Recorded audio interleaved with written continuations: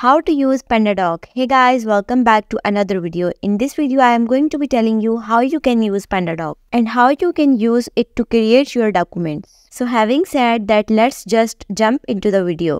Now I am on PandaDoc and as you can see over here, there is a free trial available. However, there is also a free plan but you can opt for that one as well if you want to. So let me just show you the pricing plan so that we can get that out of the way. So straight up, if we come over here, we can see there are three plans. So we have the starter, business and enterprise.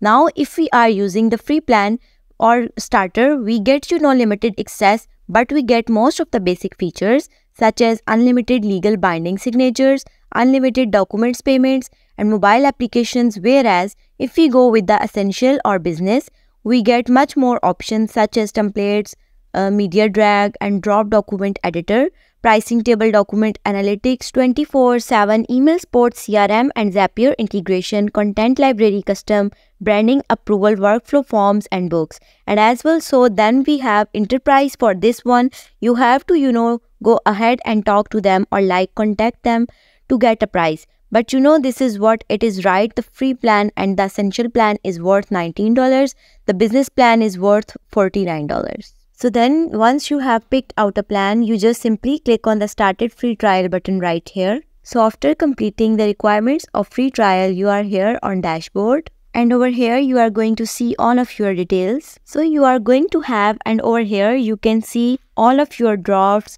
your approval, your send documents, suggestion edits and complete. Here on the left side of screen, you see inbox, reports, documents, automations, contacts, marketplace, template gallery and some other options. So let's go ahead and click on templates and see what we have over. As I said before, templates are only accessible in the paid versions of the plan. They are not available in the free plan. So over here you have your template gallery and within the template gallery you have all sorts of things.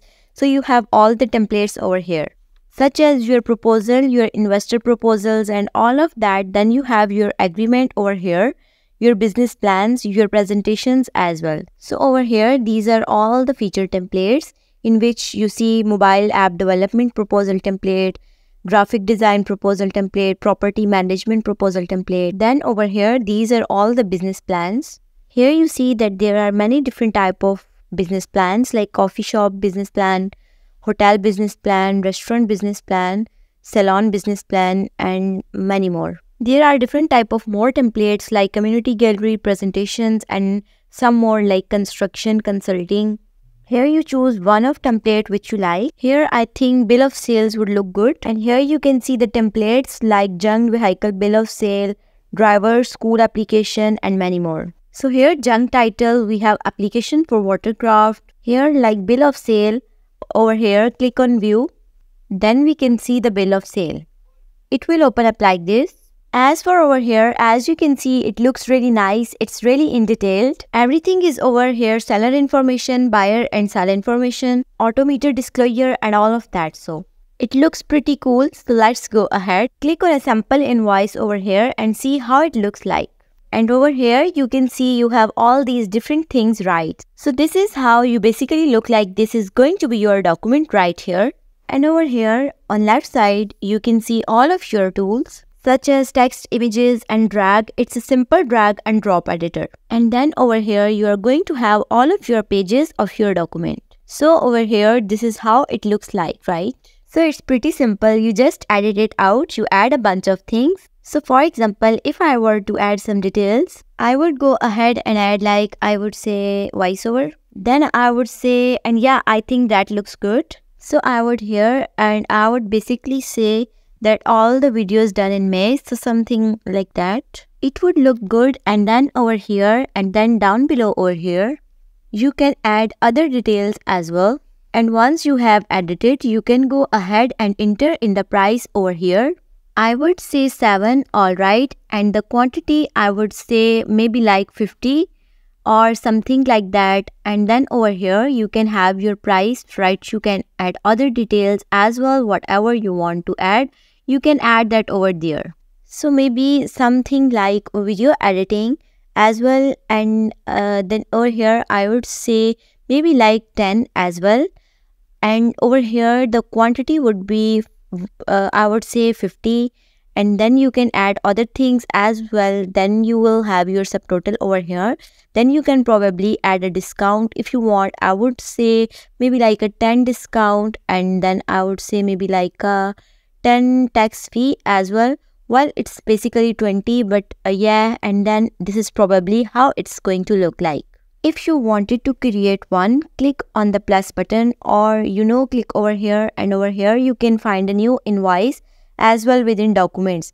But for now let's go ahead and click on add new and just simply click on blank page right here. Then you can drag uh, your unnecessary text file or uh, something like that uh, documents then go ahead and drag and drop the image over here on blank page and it's your choice from where do you like to upload an image. You want to add some text like maybe like a text field you can go ahead and add the text field over here. Then you can add also a date as well maybe you know like enter in the date of when it was created like maybe something like that then you have your check buttons drop downs all of that and you have your other pricing tables as well like just simply drag and drop the pricing table and it will look something like this one over here at the top and you can go ahead and edit it out however you feel like it. So it all depends on you. So once you have done that, you are good to go. So pretty much that's it. Next, what you can do is you can add a signature button over here but for that, you have to have a signature for yourself. A signature is a personalized mark, symbol, or writing that serves as a form of confirmation or authentication on a document, contract, or other records. They can take various forms including handwritten signatures, electronic signatures, or digital signatures. So how you could create this? So let's go into settings and in settings just scroll down, write general settings, personal information, Scroll down, you will see the signature option over here. Tap on setup signature. You can just set up your signature. Simply click on draw or type or you can upload a signature yourself like you know capture like you write your signature on a piece of paper capture a picture and upload it over here or you can draw it over here on with your mouse or if you have a touch screen or something like that then you can draw it yourself but generally this is how it's going to look like you can go ahead and write whichever one you want and then go ahead and save it and then your signature will be saved then the signature will be placed on every single document that you will have signed so pretty much that's it that's how you do it PandaDoc is a document automation platform that helps businesses streamline their document creation, delivery, and signature processes. Thanks for watching. Bye.